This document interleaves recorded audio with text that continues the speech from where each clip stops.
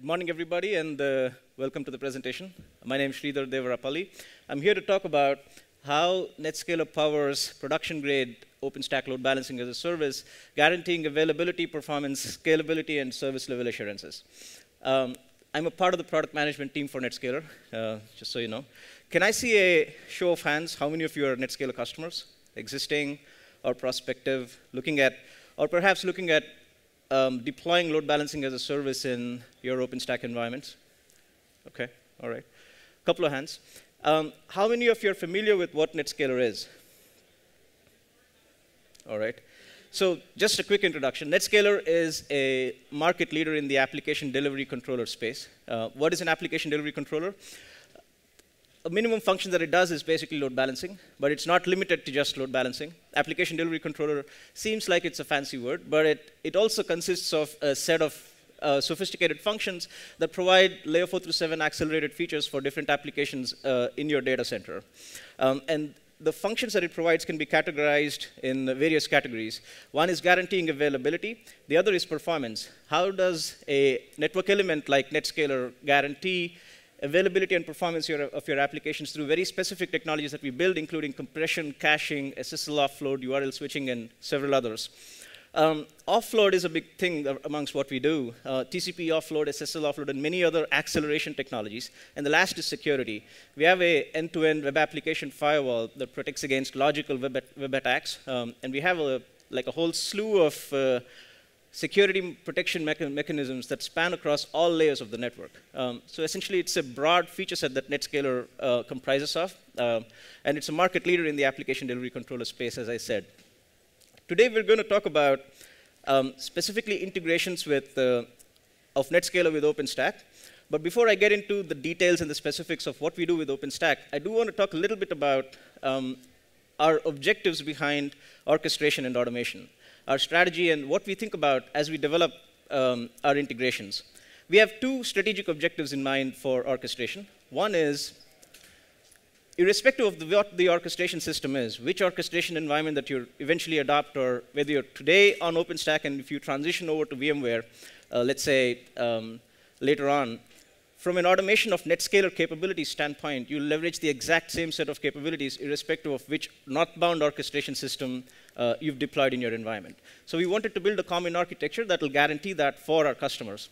The other thing we wanted to kind of ensure is that irrespective of the, of the Netscaler platforms that you've deployed in your environment, be them our standard physical appliances um, that have great capacity, which are our MPX appliances, um, be that be our virtual appliances, which are VPX appliances, or be it uh, SDXs, which are multi-tenant appliances that are purpose-built for consolidation irrespective of which platforms you use, you get the same level of automation and uh, orchestration capabilities offered by Netscaler. The first step towards offering infrastructure as a service is actually pooling capacity. That forms the first step. That gives you the um, economic advantages of running infrastructure as a service, right?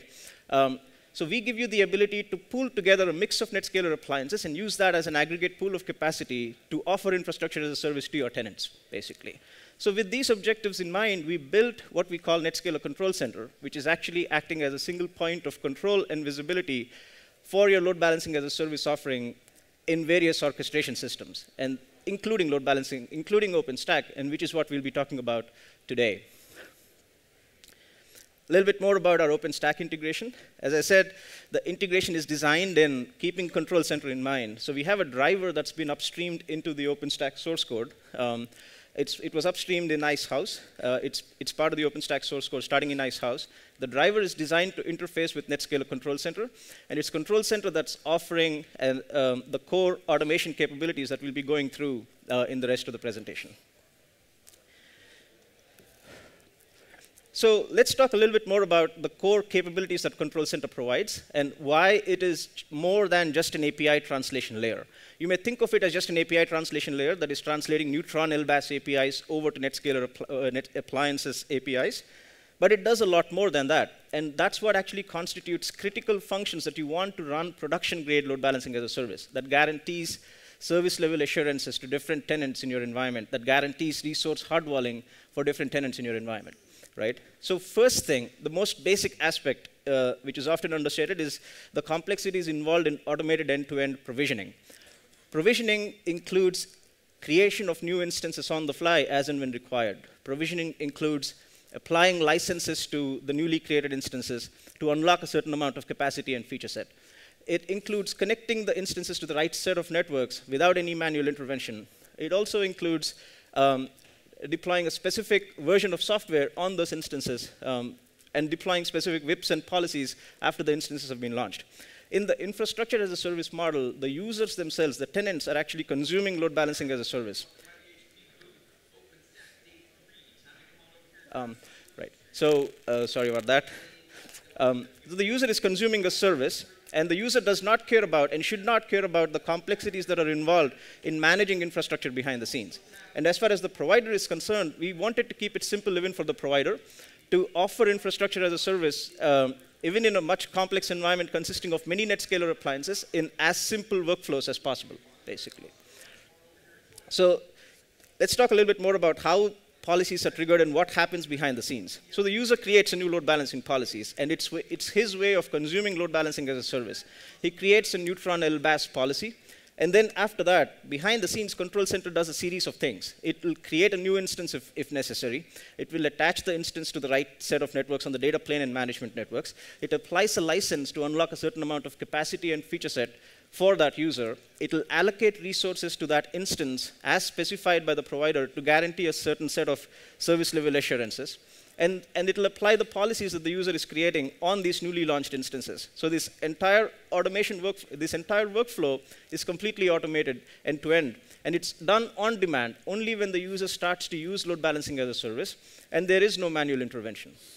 And more importantly, this level of automation is not restricted just to our virtual appliances, uh, which would be intuitive if you think about it. There's a VM that needs to be launched as a Nova instance, and Control Center can launch that VM, connect it to the instances, and then it's up and running. Um, that is one way of thinking about how to offer load balancing as a service. But as I said before, we don't want to restrict our customers' choice around the appliance types that they're, that they're allowed to select. Uh, you choose an appliance type based on the performance and scale that you need, um, but as far as automation is concerned, we, we provide you the same level of automation irrespective of the appliance type. So the, this automation workflow that I'm describing, you, uh, you, you can avail yourself of the same level of automation even if it were on an SDX appliance or an MPX appliance, basically. So we spoke a lot about automation, but what about control and what about flexibility?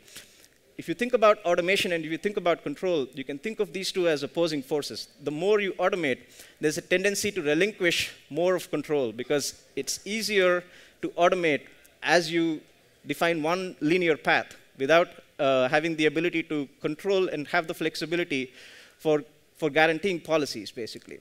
So as we designed this product, we kept in mind the need for control and flexibility as important as um, the need for automation. By control and flexibility, what do I mean? How do you control the type of resources that are allocated for specific dedicated instances for every tenant? How do you control the isolation policies that are guaranteed for every tenant? Do, does a tenant get a shared NetScaler instance, or is a tenant allowed to um, dedicate? Does he get a dedicated instance for um, uh, for himself?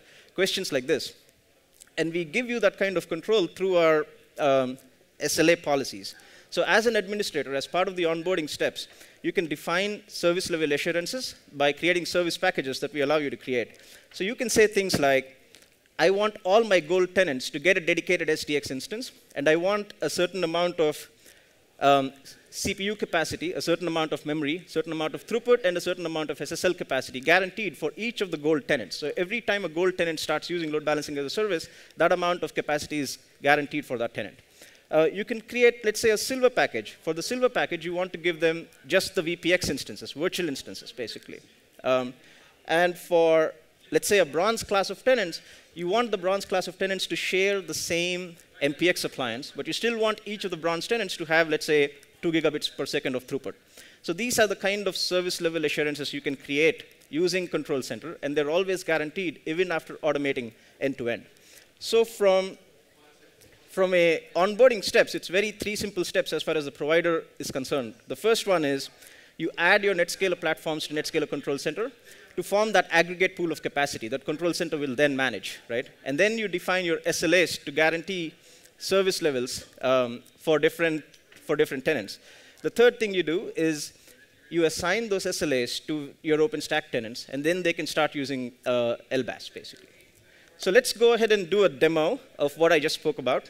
So what are we demoing today? We'll show you two tenants, the Coke and Pepsi. Coke has been guaranteed the gold uh, service package, and Pepsi has been guaranteed a silver service package. The gold service package consists of a dedicated SDX instance, and the silver service package consists of a dedicated VPX instance. And we'll see how this entire process is automated behind the scenes. All right, so over to the demo.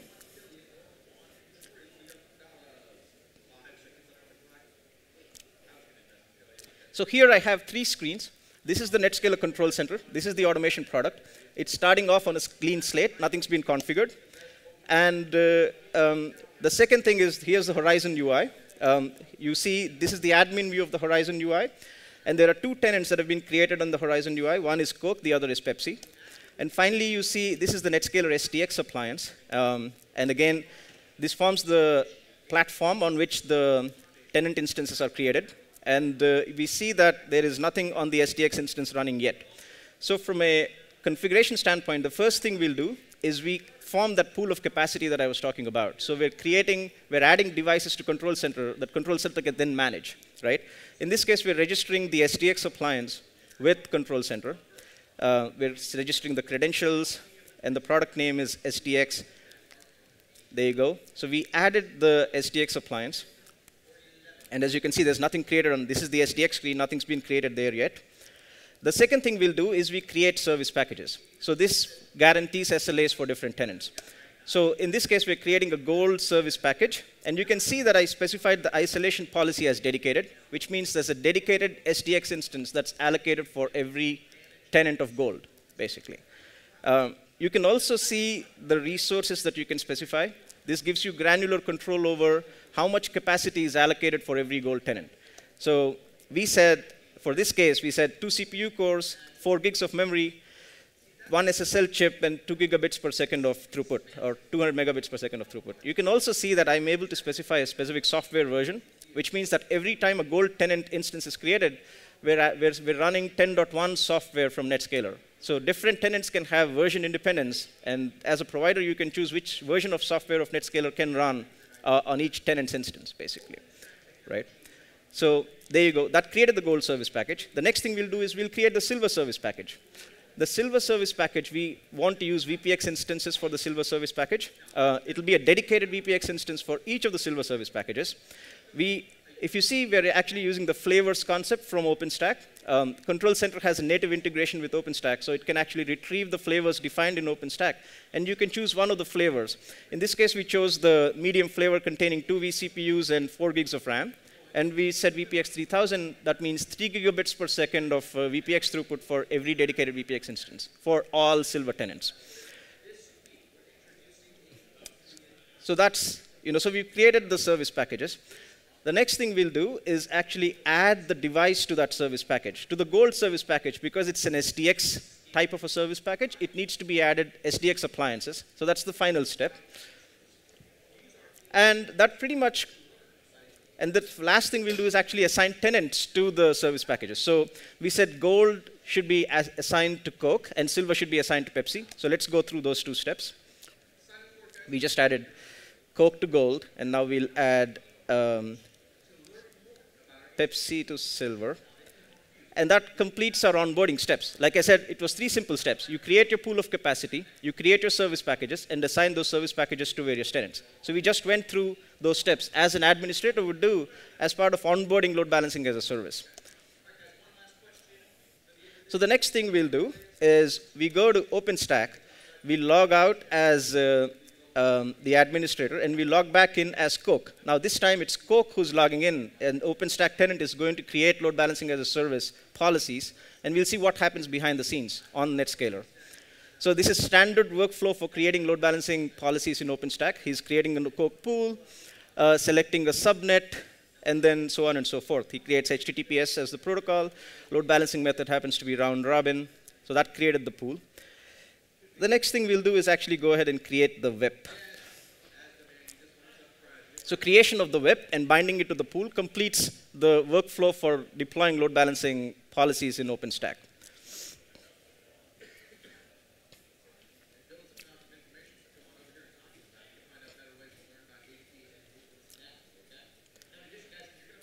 So now, there you go. We actually launched the creation of a VIP from OpenStack. Now there's a series of steps that are occurring behind the scenes after this step. And this is exactly what I was talking to you about earlier. Once a VIP is launched, um, Control Center gets that call, and it checks to see whether an instance has been created for Coke. And it checks to see, oh, Coke belongs to the gold tier. And every gold tenant needs to be dedicated an SDX instance. So it'll check whether an SDX instance has been created for Coke. In this case, it was not. So it'll go ahead and launch the creation of an SDX instance behind the scenes. And, we'll, and then apply the policy on the newly created SDX instance. And we'll see how that works um, in just a second.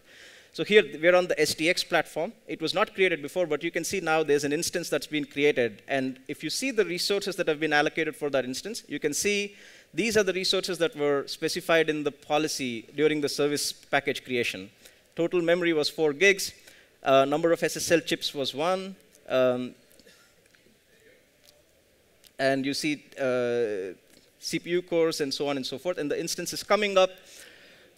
It takes a couple of minutes for the instance to come up for the first time. After the instance is up and running, um, we can actually see that the new policy that Coke has created has been installed on this, on this instance. So if you see the Coke VIP from the Horizon UI, it takes, it takes a few seconds to be active. Now the other thing we're doing is actually, now from the Coke tenant is actually accessing Control Center using his uh, OpenStack credentials. And why is he doing that? Because he can actually see a richer, deeper set of statistics around operational status, like status, statistics, and health information that you will not be able to necessarily see from the OpenStack UI. So it's the Coke tenant interacting with Control Center using his OpenStack credentials.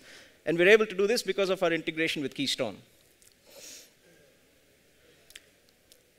So that completes the workflow for Coke. Essentially, we've seen how the SLA policies for Coke have been guaranteed by Control Center. Now we'll repeat the same process for Pepsi. And now we'll log in as Pepsi. Uh, now this is the Pepsi tenant creating load balancing as a service policies in OpenStack. We go through the same series of steps. Uh, Pepsi creating Pepsi pool, uh, selecting a subnet, and so on and so forth, standard OpenStack LBaaS workflows. Again, same steps. Once he adds a VIP, now that VIP creation again will launch a series of steps on, on Control Center it'll check to see that the silver package was actually created for Pepsi, and it'll create a VPX instance corresponding to that silver package. As you can see, now this is the horizon view of Pepsi, and because the VPX was created as a Nova instance in OpenStack, you see VPX being listed as part of the Nova instances, the list of uh, instances for Pepsi. Um, it's the Netscaler VPX that's been launched, and the flavor that you see here is the flavor that we specified during the service package creation and it takes a couple of minutes initially for the instance to be launched. And just like we saw before, after the instance is launched, the load balancing policy is installed on the instance, um, and you see the VIP being active as the next step, basically.